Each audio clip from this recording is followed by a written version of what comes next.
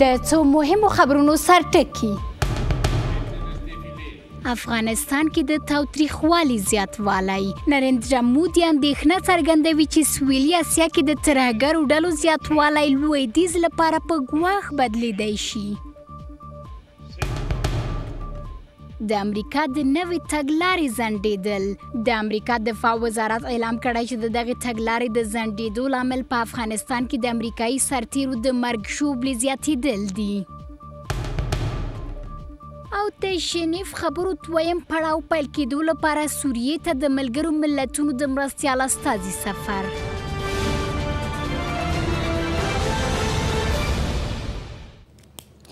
د ځواکمن رب په نامه السلام علیکم تاسو له یک تلویزیون څخه د پښتو خبری ټولګي لیدونکي یاستئ زه مو کوربنه خطره هوشمند صفه یم د هند لومړی وزیر نریندرا مودي وایي چې په افغانستان کې د تاوتریخوالي سیاتوالی به په ناورین بدل شي نریندرا مودي چې هامبورګ کې د نړۍ شلو صنعتي هیوادونو په غونډه کې خبرې کولې اعلام کړی چې سویلي اسیا کې د ترهګرو ډلو زیاتوالی د سویلي اسیا هیوادونو سربیره لویدیځ هم ګواښي. نوموړي په غیر مستقیم ډول پاکستان ته په اشارې سره ویلي، هغه هیوادونه چې له ترهګرۍ څخه د سیاسي ګټو لپاره کار اخلي، باید دا ډول غونډو کې د برخې اخیستو اجازه ونه لري.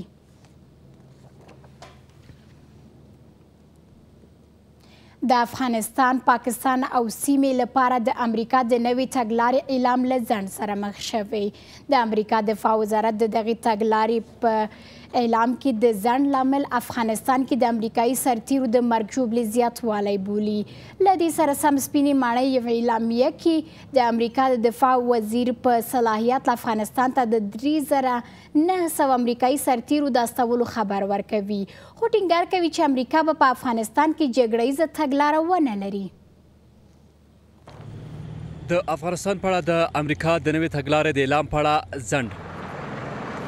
ټاکل شوې وه چې سلګونه ځانګړي امریکایي ځواکونه افغانستان ته واستول شي څو افغانستان کې د جګړې کړکېچ د امنیتي ځواکونو په ګټه کړي. سپینې ماڼۍ د یوې اعلامیې په ترڅ کې لیکلي چې د امریکا د دفاع وزیر افغانستان ته یوازې د درې زره او نهه سوه امریکایي سرتېرو د استولو هوډ لري. د لویدیځو رسنیو په وینا د سپینې ماڼۍ په یاداشت کې راغلي چې امریکا په هوایي او روزنیزه برخه کې د ناټو د غړو د ملاتړ د جلبولو په هڅه کې دی. کېدای شي ډېر وخت ته اړتیا وي څو افغانستان، پاکستان او سیمې لپاره د امریکا نوې تګلاره مشخصه او اعلام شي. د افغانستان له وضعیت څخه د څېړنې په خوا کې په افغانستان کې زموږ د ځواکونو وروستۍ مرګژوبلې دولت اړیز څو د نوې تګلارې په اړه ډېر فکر وکړي. بل پلو نیویارک ټایمز کاږلي چې افغانستان، پاکستان او سیمې لپاره د امریکا د نوې تګلارې اعلام په افغانستان کې د امریکايي سرتېرو د زیاتوالي له امله ځنډېدلی.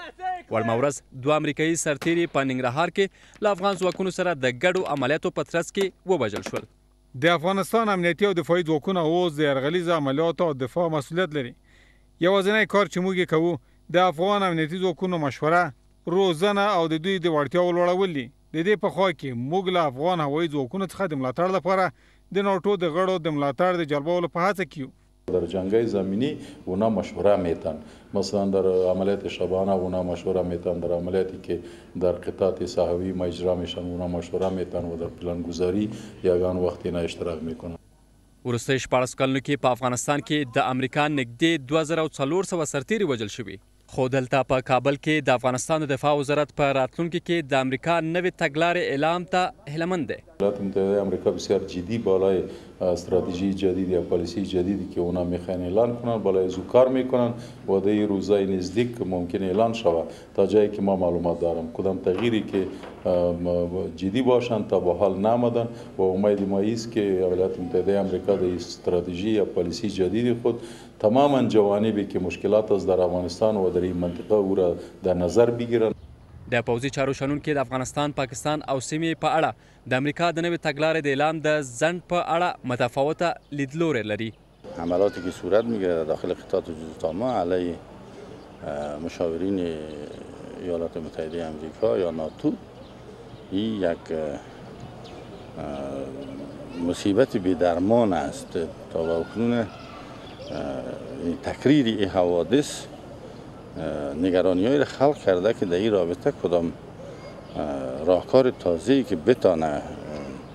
وقایه کنه اینمی حملات به وجود نیامده.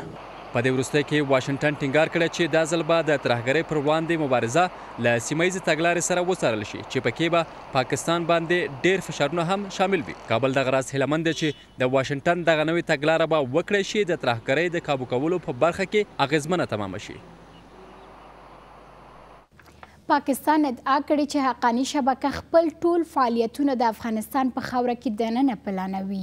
ورته مهال د پاکستان د ملي امنیت کمیټه د ترهګرۍ پر وړاندې د مبارزې په برخه کې د اسلام آباد د نه همکارۍ په اړه د افغانستان او امریکا ادعاوې ردوي.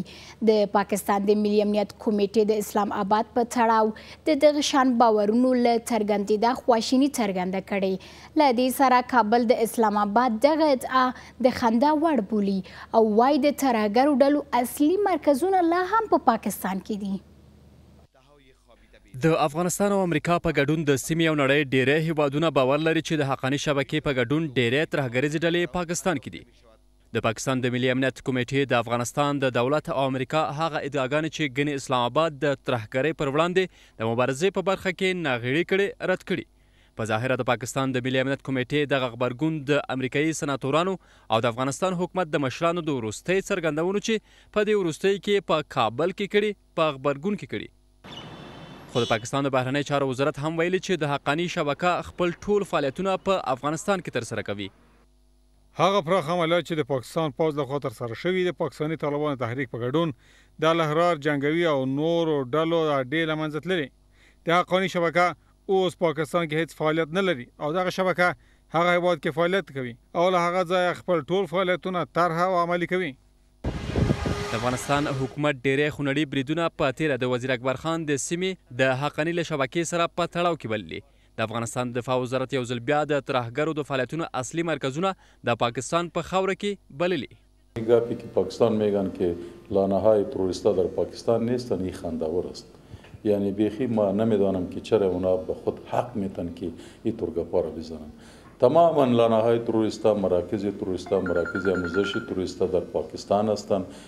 کل دنیا میدانان شما میدانین که شورای کوئټه، شورای پېښور، شورای میرانشاه در پاکستان هستند.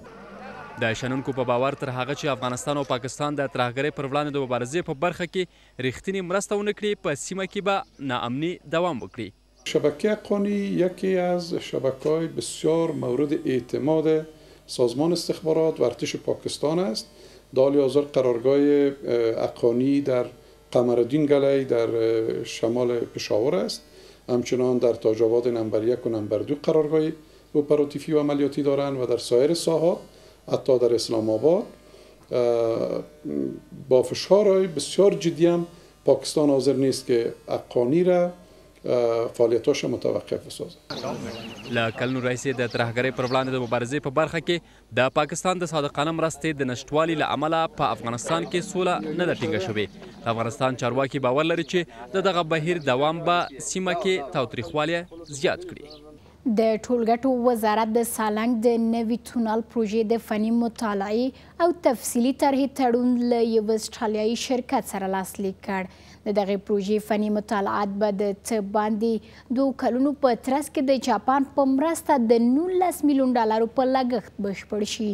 ټاکل شوې د فني مطالعاتو بشپړېدو سره د شته تونل په خوا کې د اوسنیو ستونزو د لمنځه وړلو لپاره څالنګ کې نوی تونل جوړ شي.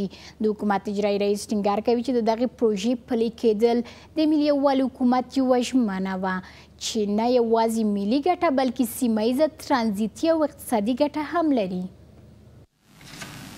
په هېواد کې د بنسټیزه پروژو د ترسره کولو په برخه کې لومړنی ګام. دلته د سالنګونو د نوې پروژې تفصیلي او فني مطالعې طرحه د ټولګټو د وزیر د حکومت د اجرایي رئیس په شتون کې له یو استرالیایي شرکت سره لاسلیک شوه. د دغه تفصیلي طرحې مطالعه دوه کاله او دوه میاشتې وخت نیسي چې څه باندې نولس میلیونه ډالر به ورباندې ولګول شي چې د جاپان او د آسیا پراختیایي بانک له خوا ورکول کېږي.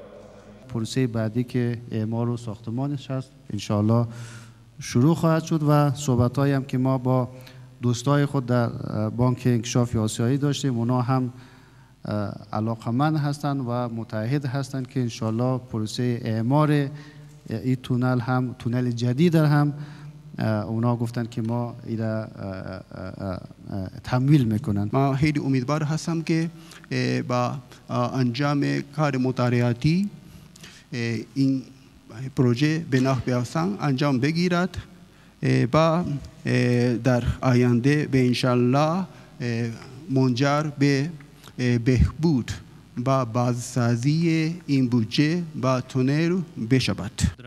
د سالنګ د نوي تونل جوړول نه یوازې پروان او بغلان ولایتونو بلکې د افغانستان ټولو خلکو او حتی د منځنۍ او سویلي اسیا هېوادونو لپاره ډېر اهمیت لري. ای قسمت کارم در پهلوی ازی که اهمیت ملی داره اهمیت منطقوی داره از لحاظ همکاری های منطقوی یک پروژه بسیار اساسی است. The Salang Corridor is also a critical section of د سالنګ لویه لار په سیمه کې د اقتصادي همکاریو په برخه کې ډېر اهمیت لري. دغه پروژه له مرکزي اسیا سره د سویلي اسیا د نښلولو په برخه کې مهم او حیاتي ځایګی لري. له دې سره سم غوښتنې دا دي چې د دا ډول مهمې پروژې د کیفیت په برخه کې هم باید ډېره پاملرنه وشي. پیشنهاد ما بر کمک کنندههای مردم افغانستان این است که از نظر مالی اگر ما را کمک می کنند از نظر کیفیت هم در پروژه ها توجه داشته باشند خیلی پروژه ها مهم است. بنا بر اهمیتی که این پروژه داره ان شاء الله توجه خاص در این خواهد داشتیم به همکاری همه شما نماینده های محترم پارلمان که کندی در کار صورت نگیره در مراحل تطبیق پروژه.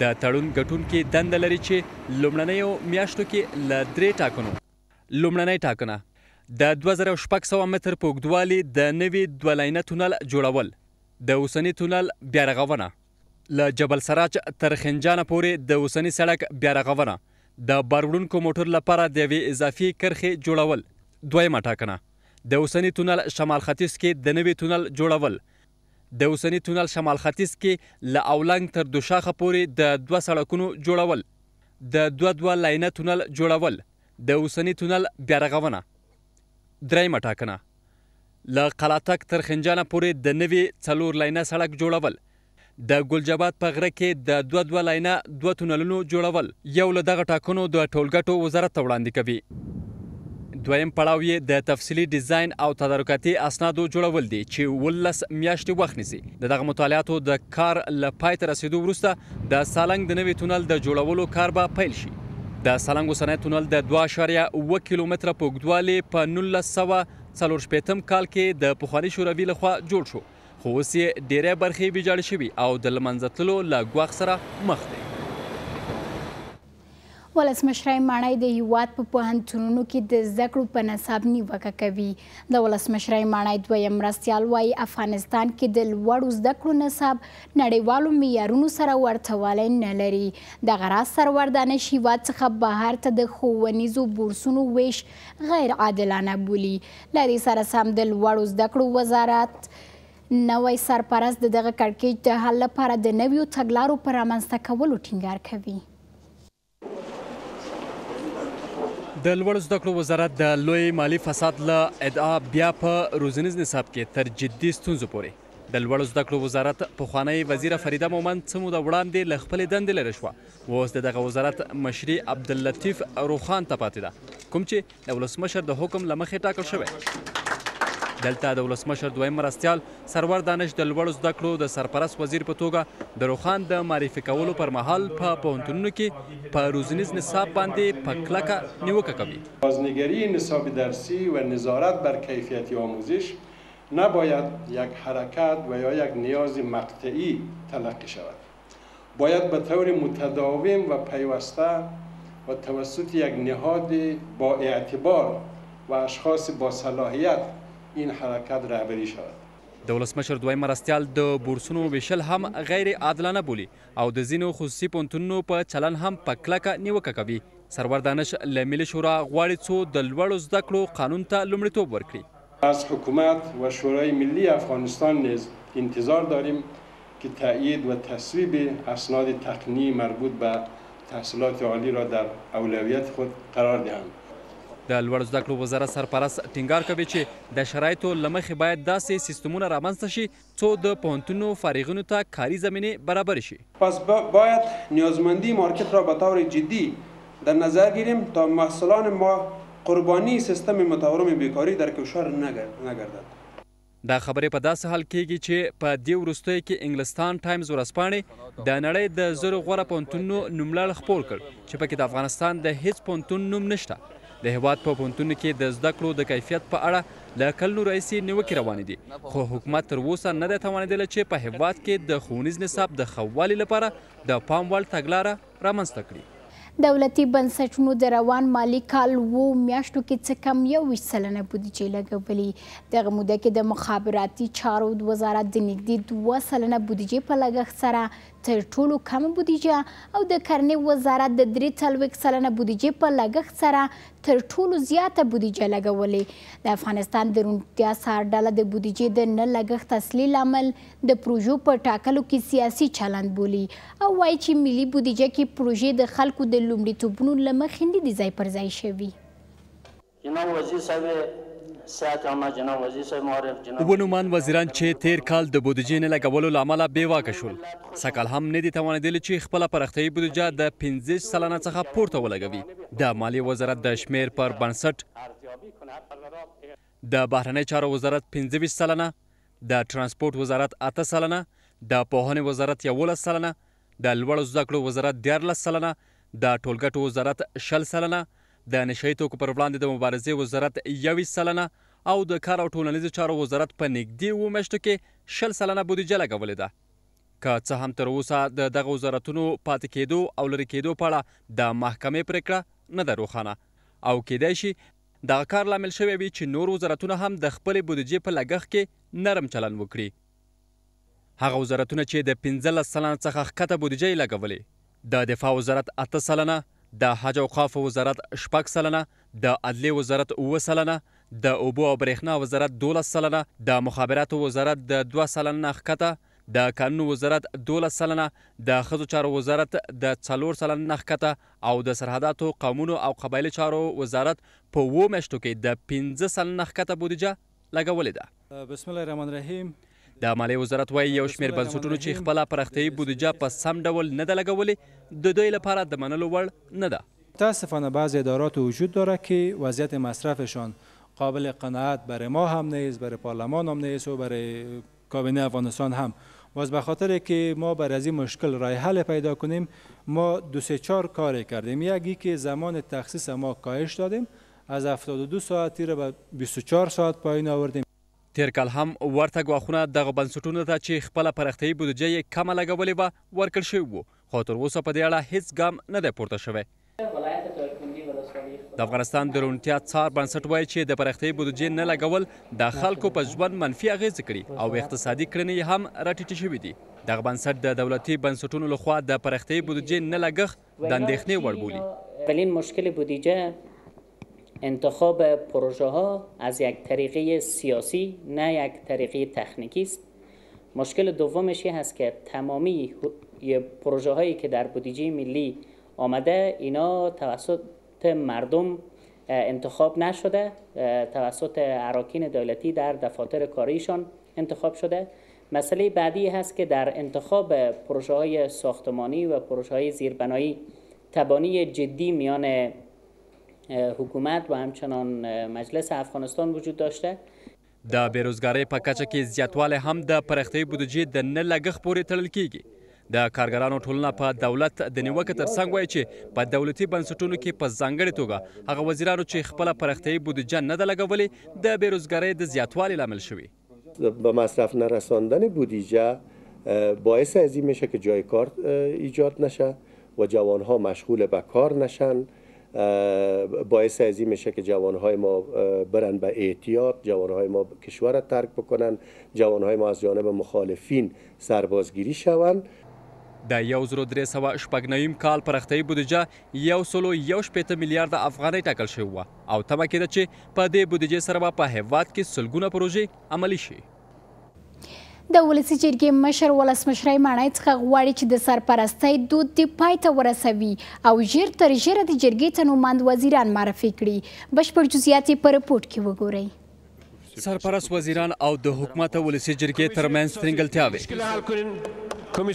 میاشتې کېږي چې څو وزارتونه د سرپرستانو لخوا اداره کېږي هغه وزارتونه چې د ولسي جرګې د غړو په باور په اداري چارو کې یې جدي ستونزې رامنځته کړي او حکومت د جرګې غړو پرېکړو ته درناوی نه دی کړی نزدیک 45 فیصد وزرای ما با سرپرستی اداره میشه وزارت خانه جناب رئیس به شکل آنارشیزم است و کسی از کسی متاسفانه حرف شنوی نداره د جرګې غړي ټینګار کوي چې ولسمشرۍ ماڼۍ باید د اوړي له رخصتیو وړاندې نوماند وزیران جرګې ته ور وپېژني. ما در جریان هستیم که در حدود سه چهار تن از کسانی که به حیث وزیر پیشنهاد شدند معرفی شدند من نمی دانم که ما چرا باید کمک کنیم به نقض قانونی که خود ما تصویب کردیم اینا چرا شامل آجندا نمیشند من پیشنهادم به جناب شما ای است که هرچه زودتر قبل از اینکه ما به رخصتی ها بریم مسئله رای دهی با وزرا را نهایی بسازیم. په همدې حال کې د ولسي جرګې مشر له حکومته غواړي چې د سرپرستۍ قانون تر خپو لاندې نه کړي او نومان وزیران ژر تر ژره د باور رای اچونې په موخه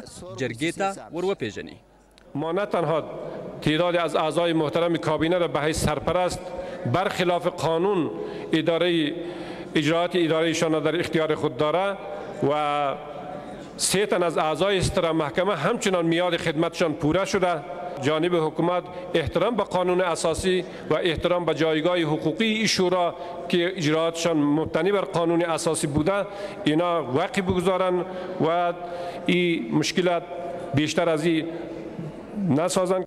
د سرپرستانو ستونزې، د ملي یووالي حکومت له پیل راهیسې تر اوسه د پارلمان او ارګ ترمنځ په ستونزه بدله شوې.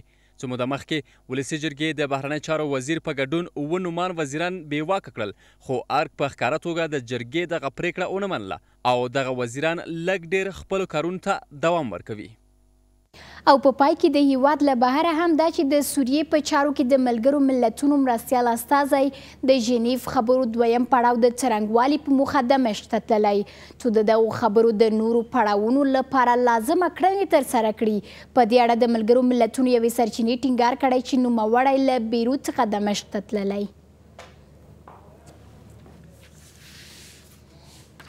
د خبرونو پای او له پاملرنې مو نړۍ مننه.